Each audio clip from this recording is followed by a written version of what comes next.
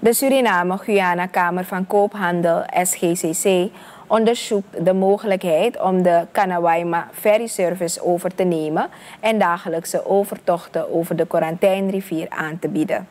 Volgens voorzitter Dr. Vishnu Durga biedt de ferry een goedkopere alternatieve reisoptie met retourtickets tussen 400 en 600 Amerikaanse dollar en kan het illegale grensverkeer verminderen. De Surinaamse overheid heeft de ferry opgenomen in de lijst van de te privatiseren staatsbedrijven en de SGCC overweegt privébeheer voor efficiëntere operaties. Uit voorlopige resultaten blijkt dat de ferry tot 10 ritten per dag kan maken om in de groeiende vraag te voorzien.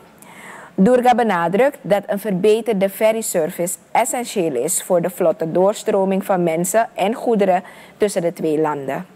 Het voorstel kan, indien goedgekeurd, zorgen voor een snellere en betrouwbaardere verbinding met inkomsten die de operationele kosten kunnen dekken. De Surinaamse counterpart van de SGCC werd benaderd voor een reactie, maar heeft nog niet gereageerd.